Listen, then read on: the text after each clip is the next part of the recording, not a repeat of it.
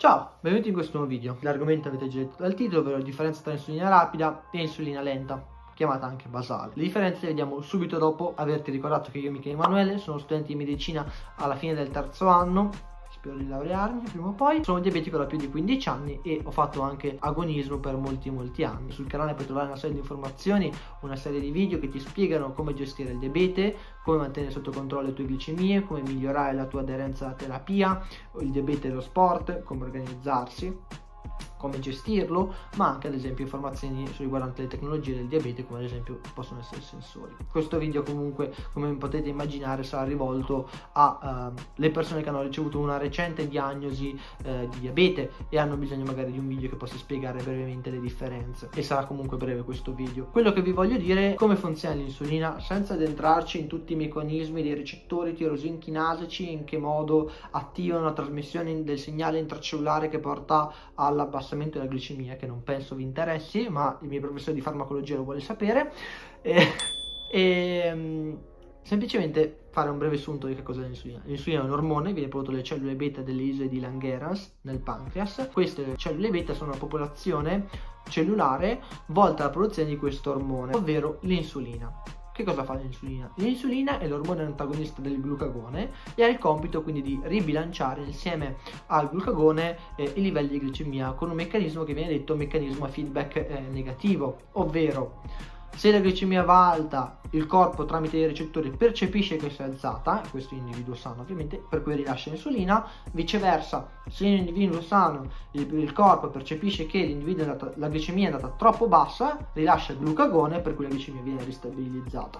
Questo è il meccanismo con cui normalmente funziona l'insulina. Insulina rapida e insulina lenta. Perché sono due tipi di insuline? Innanzitutto distinguiamo cos'è la rapida da cos'è la lenta. La rapida si tratta di insulina, quella che noi facciamo prima di ogni pasto, ha un effetto effetto a breve termine, ha una durata che può essere di due ore, due ore e mezza, per cui copre il periodo dopo i pasti, motivo per cui ci viene ricordato di misurare la glicemia due ore dopo i pasti, tre ore dopo i pasti. Ad esempio, se uno mangia al mezzogiorno, mezzogiorno e mezza, sarebbe corretto misurarle alle tre, tre e mezza sempre per mantenere quindi un controllo glicemico eh, ottimale. L'insulina lenta invece, sebbene non si sostituisca all'insulina rapida, ma possiamo vedere l'importanza della sua azione, specie in soggetti che hanno, o meglio, non è che dopo non diventi più utile, è che è più facile vedere il risultato, in soggetti che hanno ricevuto una recente diagnosi eh, di diabete tipo 1 e sono quindi in una fase che viene chiamata ancora luna di miele.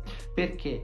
Questo perché eh, in alcuni soggetti, specie se piccoli, tipo a me quando è stato diagnosticato, che avevo 5 anni e mezzo, tra l'altro potete vedere il video ve lo lascio in alto a destra nelle schede di quando mi hanno uh, fatto la diagnosi di diabete. Ehm, quando è stato diagnosticato il corpo continua comunque a produrre una quantità minore di insulina ma una parte continua a produrle per cui in realtà le, le quantità di rapide sono molto basse quelle che si fanno e eh, è più importante invece la quantità di basale. Vi faccio un esempio. Io all'epoca facevo una unità un'unità e mezza eh, per pasto arrivando magari a 5 unità di rapida in tutta la giornata e facevo ad esempio 12 13 14 unità di basale invece eh, la mattina, perché in quel periodo lì la facevo la mattina. Ora di basale faccio 32 unità, ok? Nel tempo le quantità di, di insulina sono aumentate, poi la quantità di insulina corretta che si fa dovrebbe essere tra eh, 0,8 unità per chilo di peso corporeo, se non mi sbaglio, non dovrei dire una cavolata,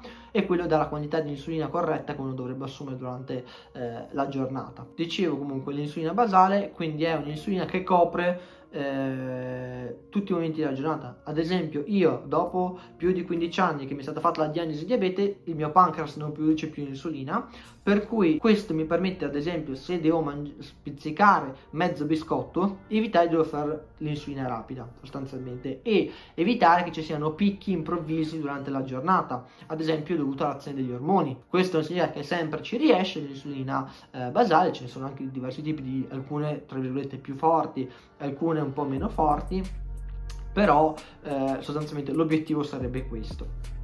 L'insulina lenta si può fare sia la mattina eh, prima della colazione oppure prima di andare a letto. Io ad esempio, come dicevo, prima la facevo, eh, prima intendo qualche anno dopo la diagnosi, fino a 12-13 anni penso la facessi la mattina prima della colazione eh, sulla coscia, adesso la faccio sulla coscia prima di andare a dormire eh, verso le 10, 10 e mezza. Come dicevo è stato un breve video, è stato un video molto rapido, è stato un breve video dove c'è un piccolo riassunto per chi ha appena avuto una diagnosi di diabete, per spiegare un attimo come eh, cosa è uno e cosa è l'altro.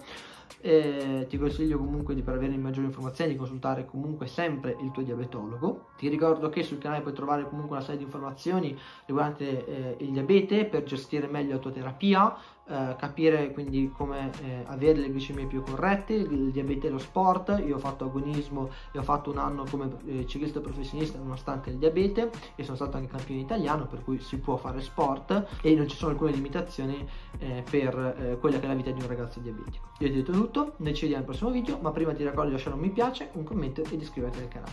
Ciao!